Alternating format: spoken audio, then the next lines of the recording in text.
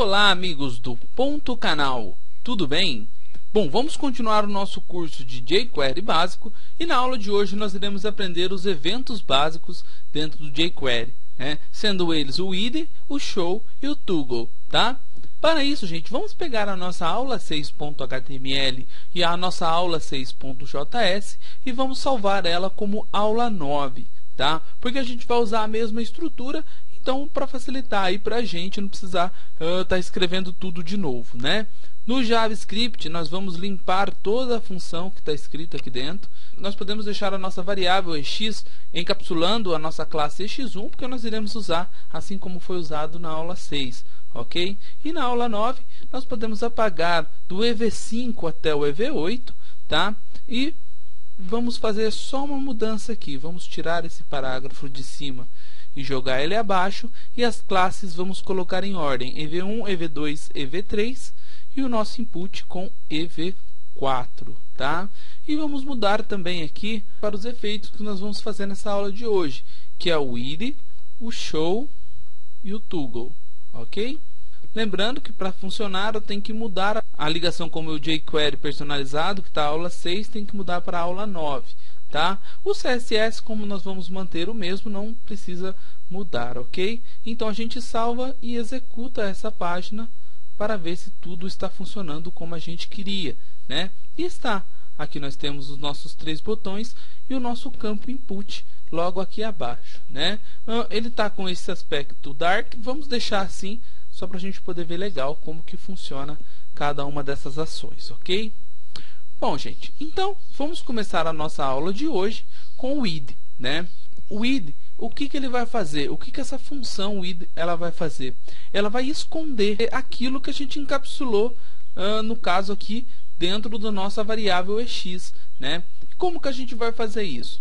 Lembra que a gente colocou aqui EV1, EV2 e EV3 e EV4 aqui no input? Nós vamos começar com o idem com o EV1, né? Então, nós temos que encapsular esse EV1 encapsulada essa classe, nós vamos colocar uma função.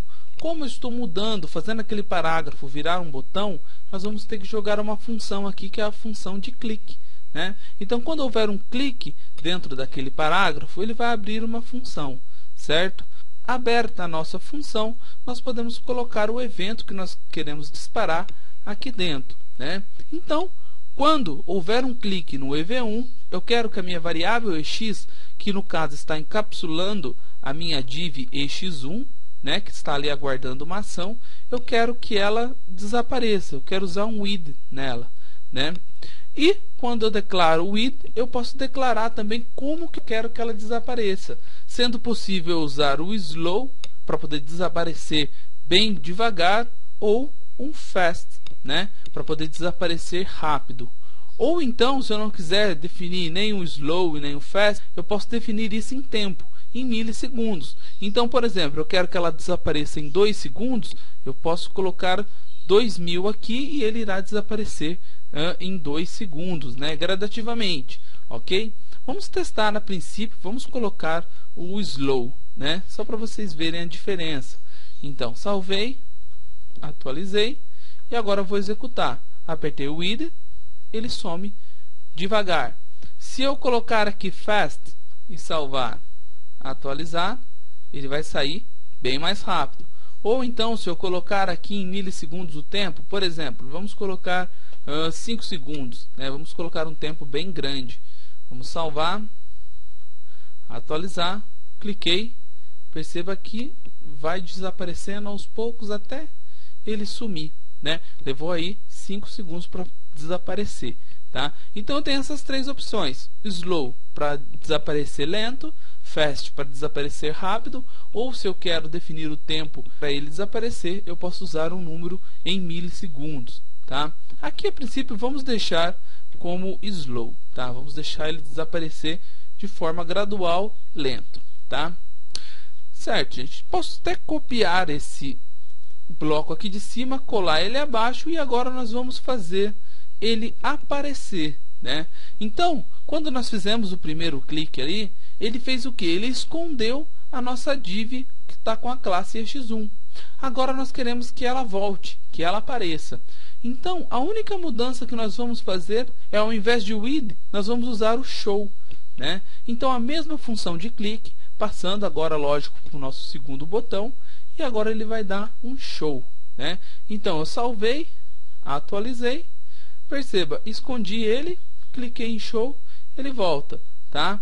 Então, eu posso usar essas duas funções combinadas para ter um resultado aí bem bacana uh, quando a gente for trabalhar na prática né, o jQuery. Tá? E nós temos a nossa terceira função, e nós vamos ver como ela é interessante. Né? Por quê? O toggle ele alterna entre o with e o show. Tá? Então, quando eu tenho um botão onde o mesmo botão vai dar o with e vai dar o show, nós usamos a função toggle. Né? Porque se estiver como idem, ele vai dar um show. E se estiver como show, ele vai dar o id. Né? Então, para nós podermos ver como essa função trabalha, nós vamos setar aqui o nosso EV3 e vamos mudar para toggle, ok? Vamos deixar o slow mesmo, salvei, atualizei e perceba que a minha div ela está aparecendo, eu cliquei em toggle, ela some. Eu cliquei de volta em toggle, ela aparece. Então o toggle ele sempre vai fazer o inverso. Se estiver aparecendo, ele vai sumir. Se estiver sumido, ele vai aparecer, tá? Agora vamos ver uma metodologia um pouquinho diferente. Vamos usar o keyup para poder disparar. Então nós vamos disparar assim que nós escrevermos, por exemplo, id, ele vai sumir com a minha div. Quando eu escrever show, ele vai aparecer a minha div quando eu escrever toggle, ele vai alternar. Se estiver aparecendo, vai sumir, e se estiver sumido, vai aparecer. Né? Então, para isso, o que nós vamos fazer? Nós vamos encapsular o nosso input. Né? O nosso input aqui não recebeu EV4, então a gente pode encapsular diretamente essa classe, EV4. Ok? E nós vamos colocar a função, que aqui no caso não vai ser clique, vai ser o keyup. Né? Assim que eu terminar de escrever, ok?